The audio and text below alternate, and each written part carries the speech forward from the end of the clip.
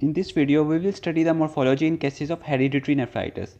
Now, hereditary nephritis is an inherited disease in which there is mutations in the structure of proteins that form the glomerular basement membrane. So, this alteration in the structure of glomerular basement membrane results in thin glomerular basement membrane that is not functionally fit. Now, in the category of hereditary nephritis, there are two similar diseases that are Alport syndrome and thin basement membrane disease. Let's discuss the morphology in these two diseases. Now usually in case of any glomerulopathy, we discuss the morphological features under the heading of light microscope, electron microscope and immunofluorescence.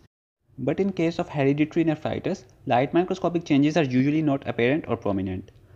But in late course of disease, you may see features of chronic kidney disease that are glomerulosclerosis, which is the narrowing of glomeruli, tubular atrophy and interstitial fibrosis. Now we will mainly study its electron microscopic features. So firstly let's study Alport syndrome. In Alport syndrome the early cases will show thin glomerular basement membrane. But in late cases of Alport syndrome along with thinning of glomerular basement membrane there will be some foci of irregular thickening. Now these alternate areas of thickening and thinning appear like laminations or layers in the glomerular basement membrane. This appearance of laminations in glomerular basement membrane is known as basket weave appearance. It is called basket weave because it appears like the layers of a woven basket. So on electron microscopy of Alport syndrome, initially you see that glomerular basement membrane is thin and lately, lately you see that there are laminations in glomerular basement membrane that is known as basket weave appearance.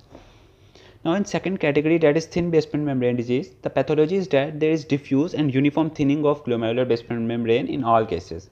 That's why it is known as thin basement membrane disease and in this disease unlike the Alport syndrome there will be no laminations or basket weave appearance of glomerular basement membrane. So this concludes the morphological changes of hereditary nephritis.